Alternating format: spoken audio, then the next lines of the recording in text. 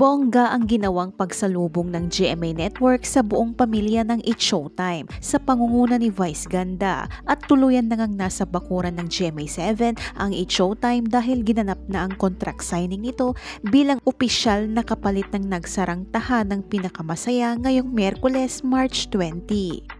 Sa video ng ABS-CBN, makikitang sumakay pa ng float ang mga host ng It's Showtime patungo sa GMA7 na pawang nakasuot ng kulay pula at mainit na tinanggap at sinalubong ng network ang It's Showtime. Si Karil at Ogie ay dating kapuso at muli na silang mapapanood sa GMA. Matatanda ang unang ibinalita ni OG Diaz sa kanyang showbiz update na planchado na ang lahat sa paglipat ng It's Showtime at ngayong March 20, naganap na nga ang pirmahan ng kontrata kasama ng It's Showtime family sa pagpunta ng GMA7 ng ABS-CBN executives sa pangunguna ni ABS-CBN CEO and President Carlo Katigbak.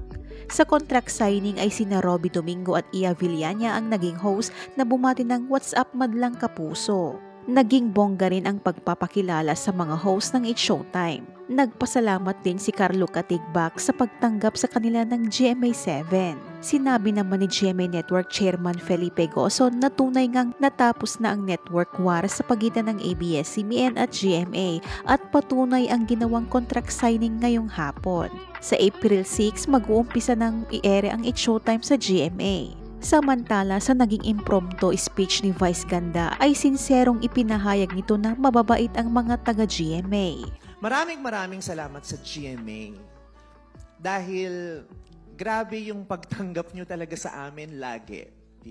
Ang sarap-sarap po ng karanasan na yun na ibinigay nyo sa amin. At kami po sa ABS-CBN na nakakaranas ng ganyang pagtrato at pagtingin mula sa inyo, lagi po namin napag-uusapan at hindi nawawala yung laging nabibitawan na in fairness, ang babait ng mga taga-GMA. Lagi, lagi naming nababanggit, di ba? Ang bait ng mga taga-GMA, ang dali nilang kausap, maayos sila kausap. Ito naman ang naging samot-saring reaksyon ng netizens. Nakakatuwa yung dating magkalaban ngayon magkasama na wala talagang imposible. Thank you Lord. Nice, may laban na sila ulit sa rating kaysa dun sa tahanang pinasara. Bilog ang bola ang dating binabantayan ngayon kakampi na nila. Congrats, it's showtime. Nagsanib puwersa na, hehe, TVJ Itbulaga is still the best for me forever. But congrats pa din sa inyo at least gaganahan pa din EB sa healthy competition.